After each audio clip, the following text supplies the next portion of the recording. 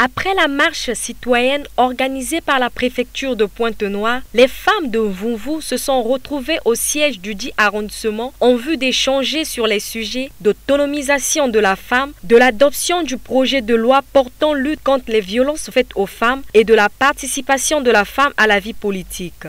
Sur le sens de cette activité, Madame lauréate Mberi Bini, administrateur maire de l'arrondissement de Vunvu. Ce que nous avons voulu faire au sein de l'arrondissement, c'était de dire euh, à ces femmes qu'elles ne doivent pas baisser les bras.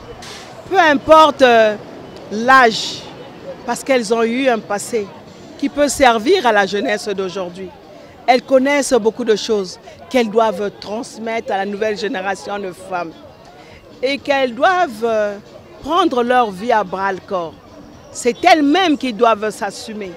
C'est elles qui doivent se battre parce que c'est elles seules qui connaissent tous leurs problèmes et quel est leur idéal. Personne ne peut le connaître mieux qu'elles-mêmes. Si aujourd'hui nous pouvons fêter cet anniversaire du droit de la femme, les droits de la femme, c'est parce qu'il y a eu des dames pionnières qui ont milité pour qu'on arrive à ce jour aujourd'hui.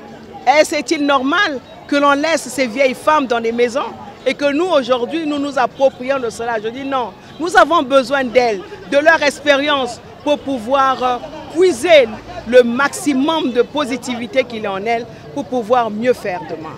Heureuse d'avoir participé à cette célébration, Dr Leza, médecin en chef au Centre de santé intégré de Mvumvu, livre ses impressions sur la célébration du 8 mars. Nous sommes très contents d'avoir euh, participé à cette activité où nous avons pu entendre quelques informations concernant, on va dire, les droits de la femme et ce que la femme était en fait au niveau de la communauté, ce qu'elle était au niveau de la famille et tout cela. Et nous sommes vraiment reconnaissants, nous remercions Madame le maire pour cette initiative.